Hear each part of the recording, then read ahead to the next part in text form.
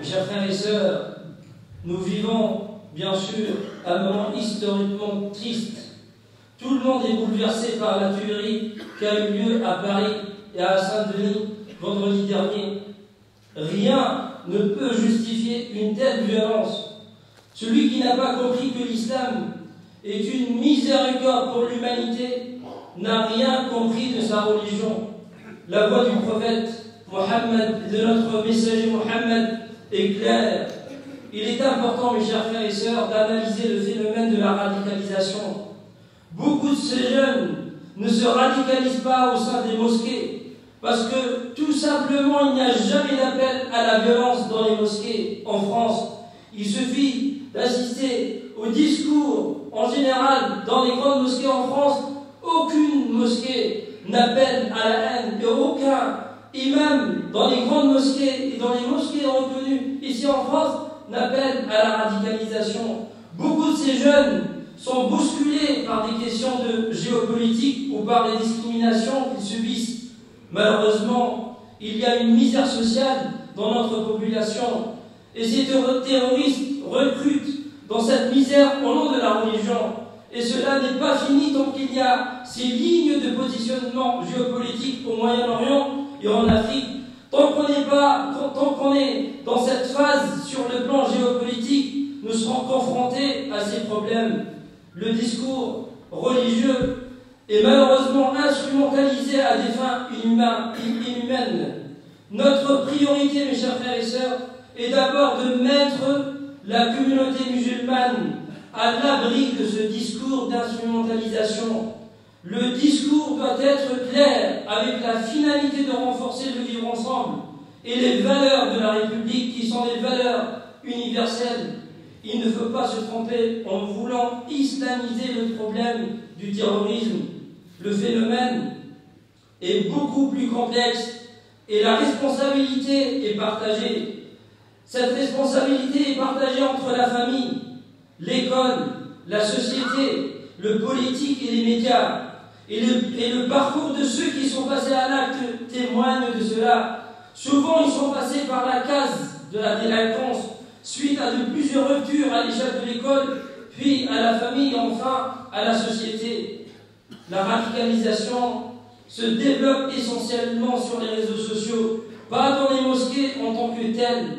En général, ce sont des jeunes qui ne se rendent jamais dans les mosquées, des jeunes qui souhaitent avoir un accès direct et sauvage au texte sans aucune science, aux références ou références légitimes divines. On assiste parfois à une instrumentalisation de la religion par certains groupes à des fins identitaires et politiques. Et c'est au sein de ces groupes que la plupart des jeunes partis en Syrie se radicalisent. Il existe un réel problème d'interprétation du Coran chez certains, des interprétations qui ne sont plus adaptées au monde actuel. Pour comprendre un verset, on l'a dit plusieurs fois dans plusieurs sermons du vendredi, que pour comprendre, pour pouvoir comprendre un verset, il faut le comprendre à la lumière du reste du Coran et de ses finalités. Mais prendre un seul verset et le comprendre tout seul est un égarement de la voix de Dieu.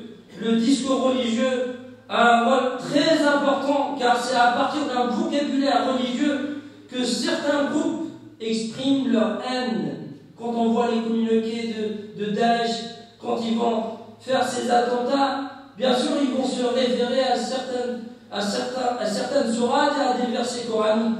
Mais le problème, c'est un problème d'interprétation.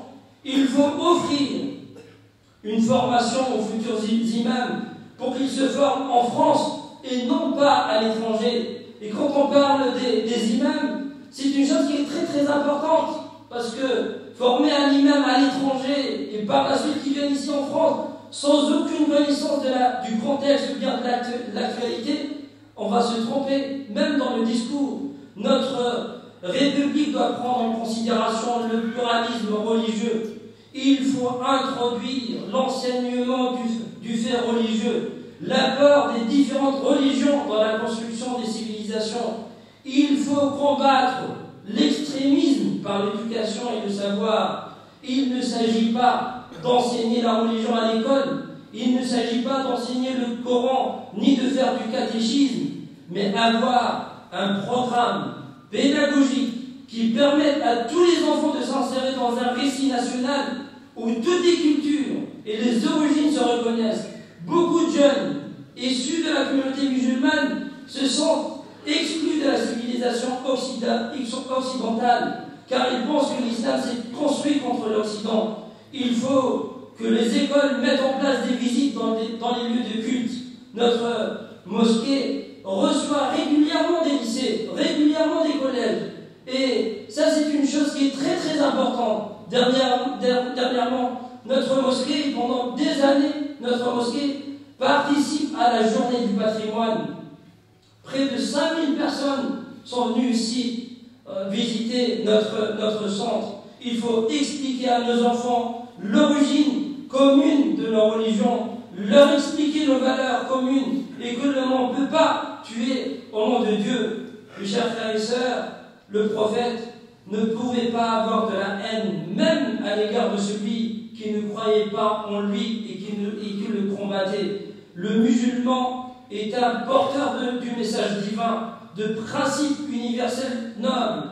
La juste mesure serait de construire un front commun et que les citoyens français de confession musulmane font partie de ce front, car le but des terroristes est de fragiliser le lien social afin qu'ils puissent alimenter ces rangs avec de nouveaux candidats qui se sentiront exclus de la société. L'islam exhorte le musulman à être le meilleur ambassadeur de cette religion.